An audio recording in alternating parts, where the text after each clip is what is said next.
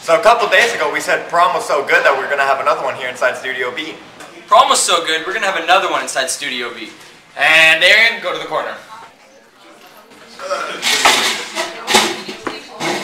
There we go. This may be very surprising of you to hear, but I love you. I know. No. Well, would you go to Studio B prom with me? No. Well, you don't have a choice, so you're gonna come on.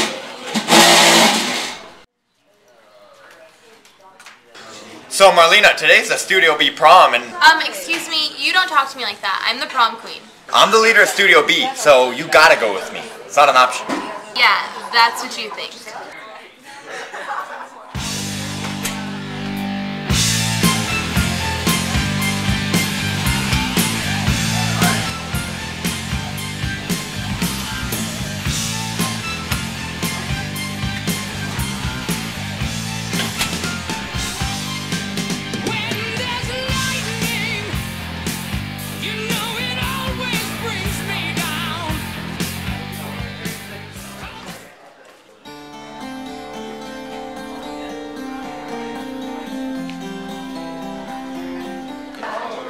Greatest night of my life.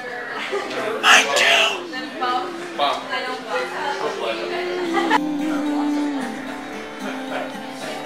Alright, the music was terrible at prom, so we've decided to play our own music. Good music.